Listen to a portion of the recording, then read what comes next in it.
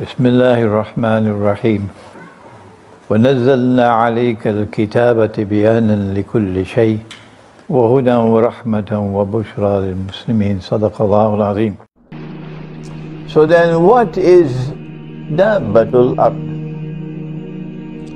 Which comes and will come, sorry, will come, because has not as yet happened, and will destroy, this is consuming, destroy, this property of the stuff connected with time, connected with time.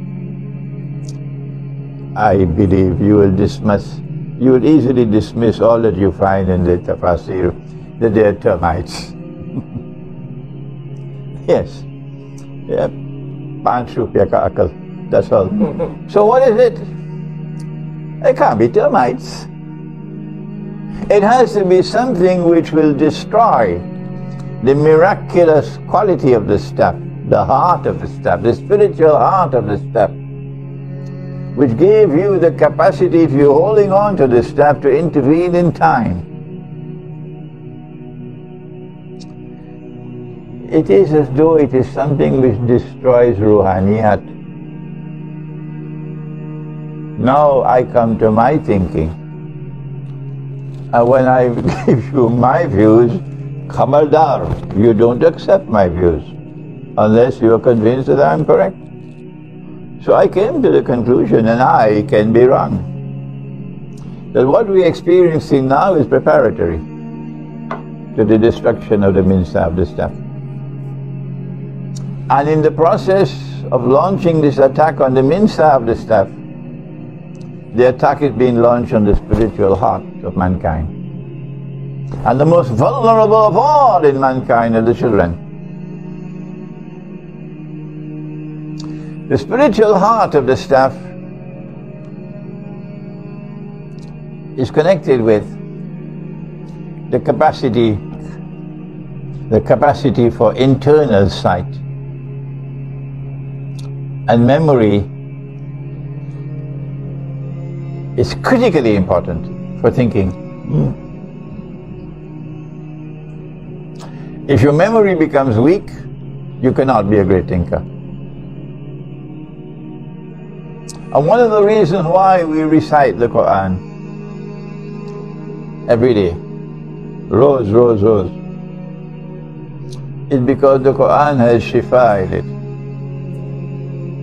And one of the first things that that shifa does is to keep our memory strong. If the memory is powerful, you can be, I wish I knew the Urdu for it, versatile. Versatile means the same man who is a medical doctor can become a nuclear scientist and become the greatest poet ever. And that same man, if you give him a piece of wood, will build a furniture for you beautifully. He's excellent here and there and there and there and there. Anywhere he turns, he's excellent. This is versatility. And I see the effect on the bees due to the child. And when I look at the children today, I see it, that memory is declining in the children. I teach them because parents did not teach them. I say, okay, first surah, Surah Al-Fatiha, second one, Surah Al-Baqarah, third Surah Ali Imran, fourth Surah Al-Nisa, fifth Surah Al-Ma'idah. Now go, give you five minutes, go walk, memorize. Come back. Now you tell me, first five, you tell me. The children who have the smartphones and who live in the city have the least memory. And the children from the countryside, Gaon, who are not exposed to the smartphone, this, the, the internet, the, the electromagnetic waves around us today, and who don't live in the city, they have the best memory.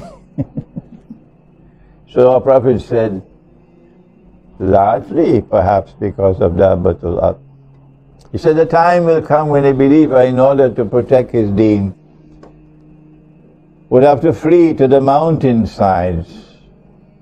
Why? Because the mountain blocks, You can't use your cell phone. He'll have to flee to the mountainside and the places where rain falls.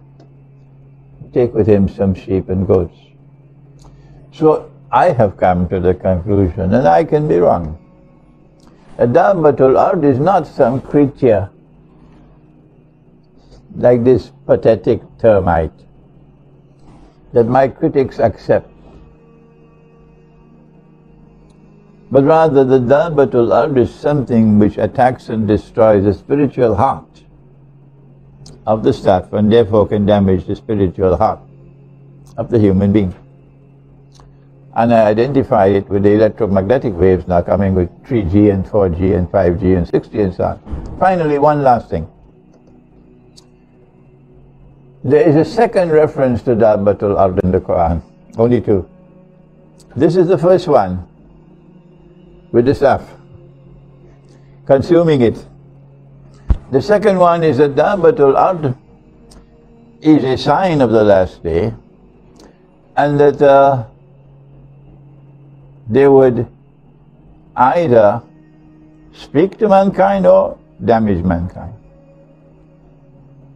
The Arabic text can be read two ways. If it's being if it's being spoken, of course, we know exactly what it is. But when it's not spoken and it's written, then they put in these diacritical marks, fatha and kesra and dhamma. And you can change it around because this didn't come from Allah. This is human beings. So they wrote it, the Dabbatul Ard tukallimuhum would speak to mankind. And I said, I want to take that with a pinch of salt. Because I still have a mind with which to think. Speaking to mankind? The other one is taklimuhum, would injure you damage you. I said, that makes more sense to me. So I have departed from this. the overwhelming majority of the scholars of Islam and the Muslims accept that one. So they will have to solve their problem. I can't solve it for them. But because I accept that the Quran is saying that the Dabbatul Ard will damage you, this one makes a lot of sense. And the damage is already taking place.